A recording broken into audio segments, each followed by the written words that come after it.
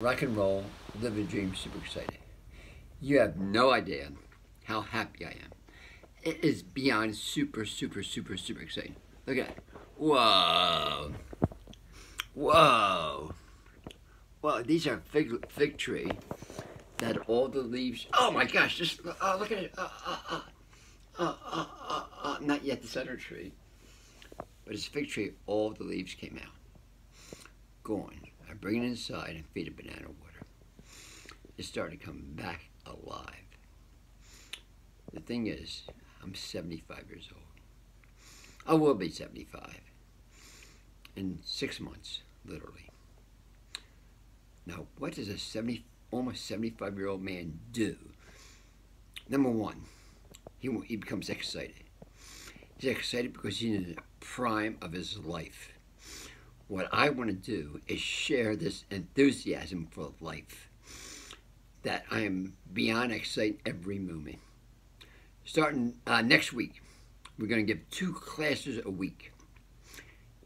In my mind, this is the most pressing, pressing issue of our time, and no one talks about it. No one talks about it. Number one, autism. It will affect every boy born by the year 2032, according to the CDC, and I think it's going to happen sooner. Every girl by 2041. Next, in the same vein, I mean, dementia and Alzheimer's disease is grown by leaps and bounds and affect every adult, which is most adults are getting at a young and earlier age.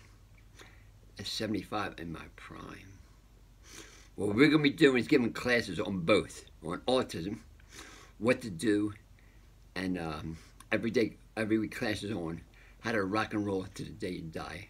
A support group for both. Stay tuned. Next Tuesday and Wednesday, stay tuned. Uh, we'll be also doing a lot of other factors to keep the energetic vibration of this country up to share the love of life and what it needs to do to stay fit. My opinion, fruit. Fruit is the key. Bananas are the key. Stay tuned. Bye. Ah, say goodbye to fig trees.